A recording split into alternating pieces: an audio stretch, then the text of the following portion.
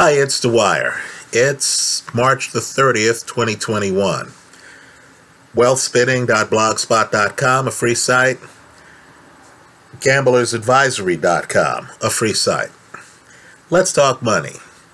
But please, do not consider this to be investment advice. Right? I'm just offering some thoughts, some investment ideas for entertainment purposes only. I want everyone here to think for themselves and to consult their own financial professionals. I'm just sharing what I'm doing. So remember, the opinion you should follow should be your own. Just consider this video to be a second opinion from a complete stranger online.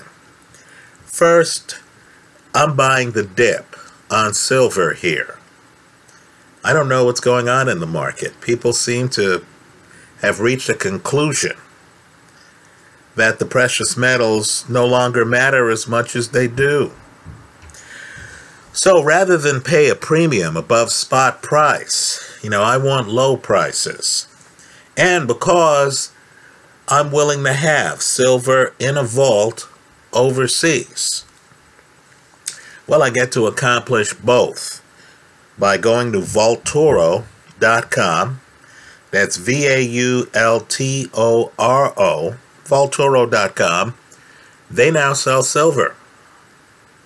So they're fully audited. You could look at the audit records at the website. Um, so you can buy silver.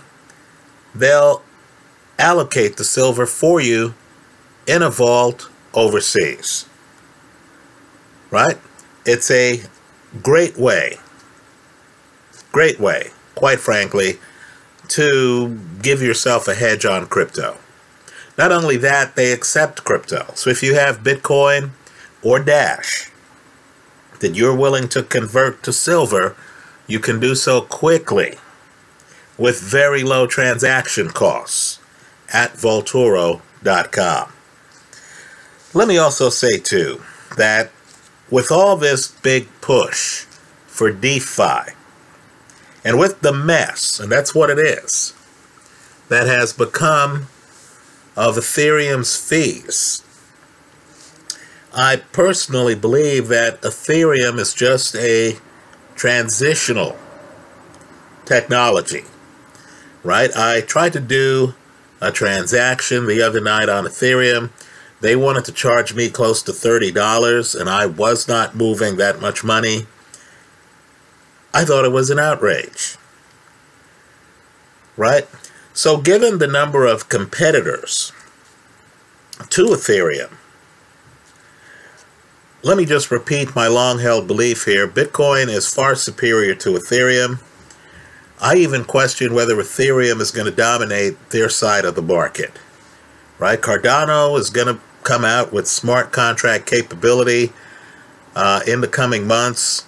You have several other competitors, several other governance coins, um, Cosmos, for example, Polkadot, Kusama. Kusama's been on fire. As I've mentioned in other videos, you can get 12% on your Polkadot investment and on your Kusama investment if you stake with Kraken. Let me point out too that I'm not a paid spokesman for any of the companies I name here. Right? I don't have a deal with Vaultoro. I don't have a deal with Kraken. I'm just going around the cryptoverse and I'm just picking great deals that pop up from time to time. Well, let me just say, I know DeFi is all the rage right now. I want people to consider the more centralized DeFi part of the equation. Right? I mentioned Binance Coin, BNB. It's now over $300 a coin, folks. Understand it's deflationary. They're not talking about it. It's already deflationary. Now, I, I get the idea that Bitcoin holders, and I'm a Bitcoin holder, are upset that Binance Coin is not decentralized. I'll agree with that, but understand that Binance is one of the most successful exchanges in the cryptoverse. It's extremely successful. They have a bit of credibility here. They've already announced that they're burning coins. Right? I just get the feeling that it would be brand suicide for them to betray users by suddenly changing course and making the coin inflationary. Let me also point out too that Binance Smart Chain charges fewer transaction fee costs than Ethereum's fees. Right? It's possible that we started out cryptocurrency seeking decentralization. Now we're realizing that too much decentralization might be a bad thing. That some centralization can actually lead to some efficiency. So, what I want people to consider is gee, who's going to own the future? This DeFi world where Sushi Swap suddenly shows up and there's a question about the chef taking money and stuff like that. Some DeFi world where you're hearing about lower fees, but when you're actually on the exchange, the fees are higher than you expected. Right? This DeFi world where the throughput is not what it should be, where you start to think about the idea of bad actors messing up an altcoin, right? Hard to do with Bitcoin because Bitcoin has such a big hash rate. But some of these altcoins don't. And then you start to realize, wow, aren't they more vulnerable to attacks by outsiders? Right? How decentralized is it when people could take money off a DeFi exchange? And then supposedly return it later. So, let me just say this, uh, and I'm talking about the people running the exchange.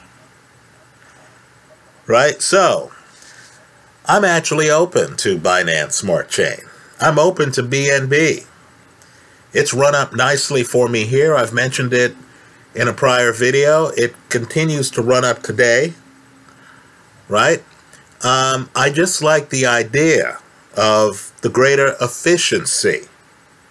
And apparently, I'm not alone because the demand is increasing. Let's talk about another coin that deserves your attention, and it's a deal that deserves your attention. Did you know that right now on Gemini Exchange, you can stake Filecoin and get a 7% rate of return. Now, for those following, Filecoin's been on fire. The coin's up around $150 right now.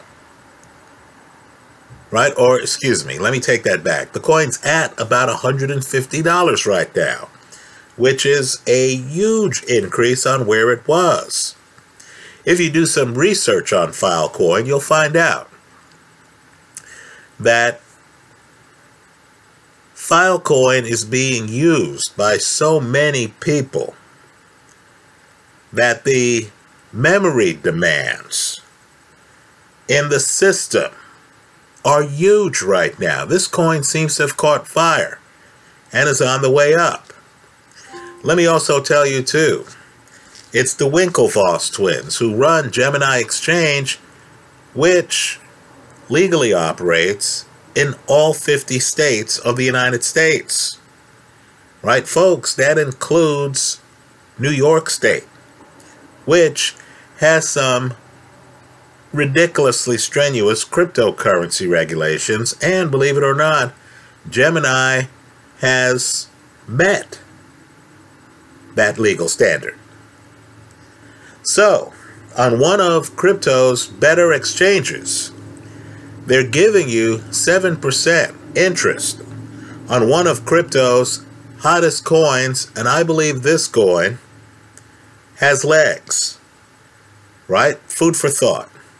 Let's just back up a second now and talk about the general economy. You know, I know that they're printing a lot of money. I know that the Biden administration, after a $1.9 trillion stimulus bill, now wants an infrastructure bill passed that, according to reports, is going to cost more than $3 trillion. Hey, I'm a child of the 1970s. I remember the inflation. Right? I remember when Wall Street was viewed as a backwater in the late 70s, early 80s. Right? I remember mortgage rates well into the double digits, treasury rates well into the double digits.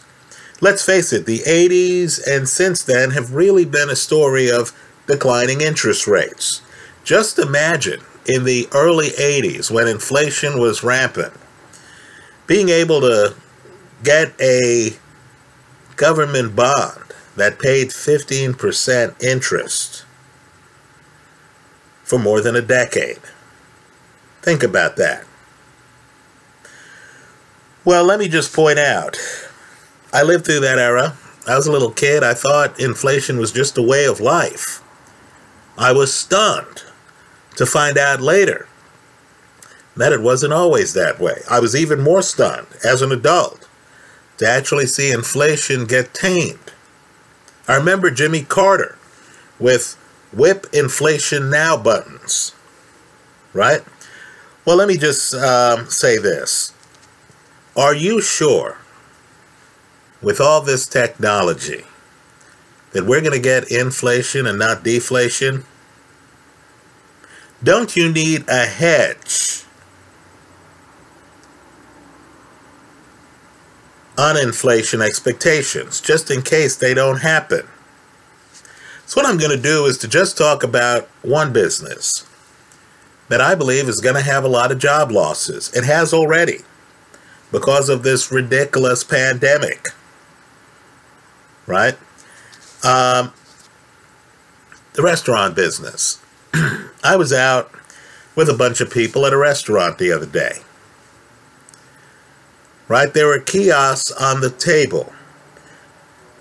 There was a QR code on the table. That's how you were supposed to get the menu. They didn't have paper menus. They expected you to take out your phone and scan the QR code then the menu website would pop up on your phone. Well, I was sitting there and I was looking at the setup and I thought, well, why even have the kiosks? In fact, isn't this a great way to pass the cost from the restaurant on to you, the consumer? Right? Understand, each of us had a cell phone with software that could fulfill the role. All they had to do was have a QR code with a menu that was interactive that allowed people to order. Right? Understand if the restaurant doesn't even need to have a kiosk on the table, they're shifting the cost of having a kiosk onto you, the consumer. Now keep your eye on the real ball here. The waiter has been disintermediated. In other words, I show up at the restaurant, there's a QR code as it is on the table for me to get the menu. I don't need the waiter to get the menu. Right? We're seated at the table. You can, with a kiosk, punch in separate bills for everyone. Right? If you're not savvy enough to use Square Cash App and transfer money to people and stuff like that.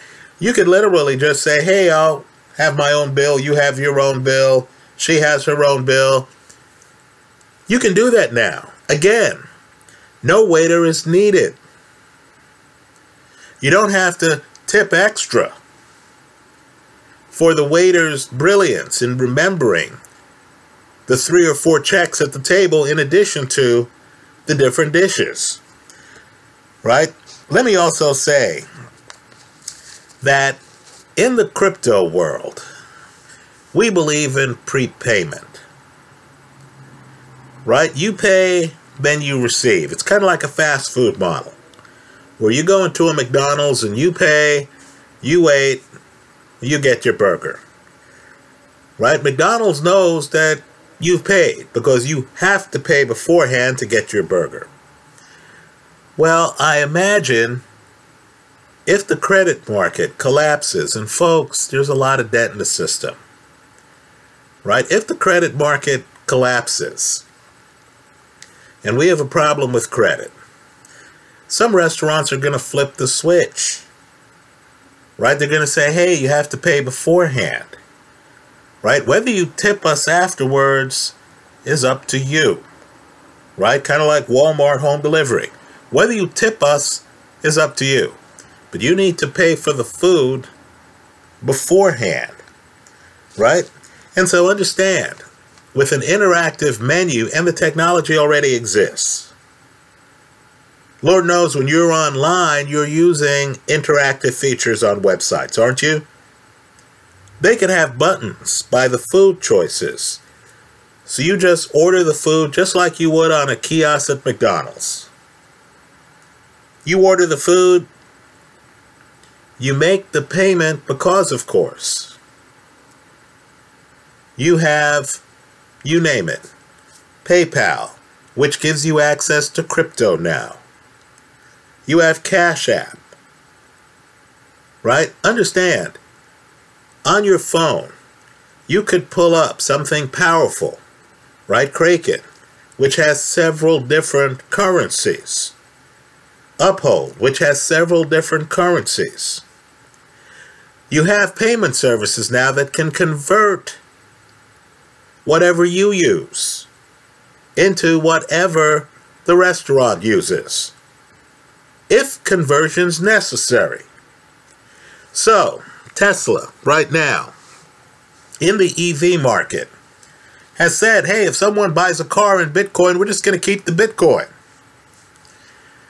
Well, understand you could have restaurants with that same attitude. If the menu's interactive, then the menu can actually change the price, right? Based on some price index, if there are fluctuations in the price of the currency, right?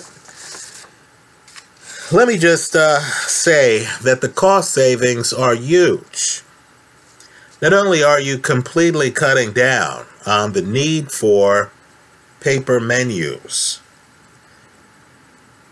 Right? In some cases, kiosks, equipment, waiters, waitresses. Right? But you're also getting rid of the cashier, aren't you? Understand, this world is coming. Right now, the world we're in has paper currency. I think we all know that even states are moving toward digital currency. Right? In China, they're already there with the WeChat app. So just think it through. In addition to the cost savings, again, no menu, no cashier, no kiosks, far fewer waiters, right? Quicker ordering time. But also think about the information that the restaurant will be able to receive immediately in computerized form to determine their own inventory demands and supply chain needs. Right? You have immediate market research because everything's digital. The owner of the restaurant can just say, hey, how many people ordered the filet mignon this month? And boom, there it is right? Understand too, you're disintermediating banks if you're not using credit cards. If you're using cryptocurrency, right, you don't need the clearing services that you had before. The restaurant is getting paid faster. They're not waiting for Visa to process their payment. Although, in fairness to Visa, Visa apparently now is using Ethereum to process some payments, right? So Visa's up upgrading. Let me also say too that you have fewer advertising materials that are needed because people are interacting with you through their phones. You can have a website on which you also have your menu and everything else. Right? You don't need billboards around town. You don't need print ads in newspapers that no one is buying. So think it through. If this more efficient in terms of its use of capital, world develops, folks, you're going to have falling prices because the people who print the menus, they're going to be without a job. Right? The waiter who used to come by your table several times, not just to drop off food, but to check on you and to hear your special requests and to earn a tip by writing down your order. That job will no longer be necessary. Right? Some of the market researchers will no longer be necessary because the restaurant will know in real time what people are ordering in databases that they can search. Let's also talk about ownership.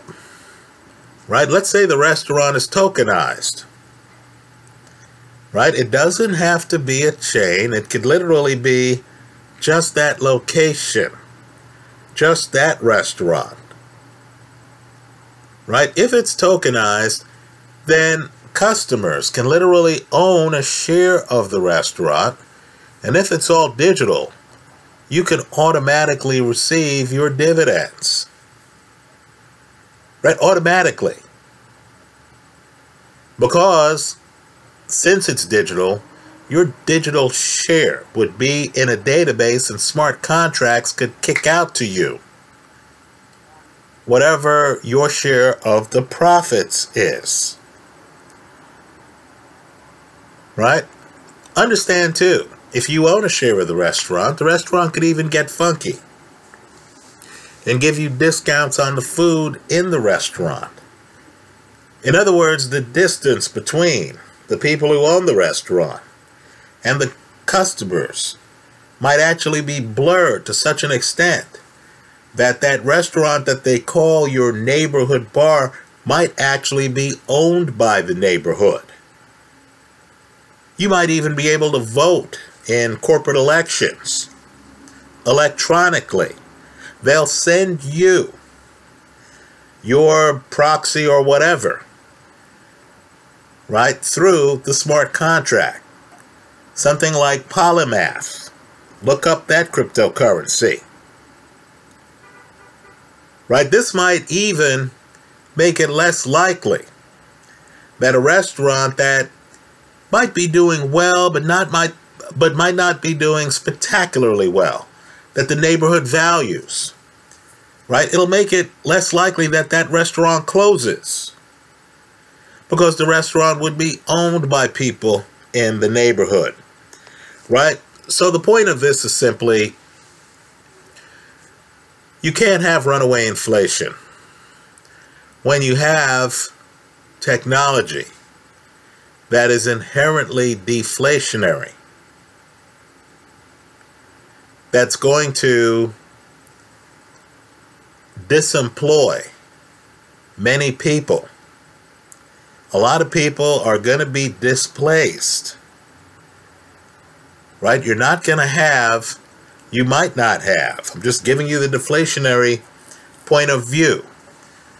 The one bondholders prefer right? You might not have runaway consumption because people like the waiter,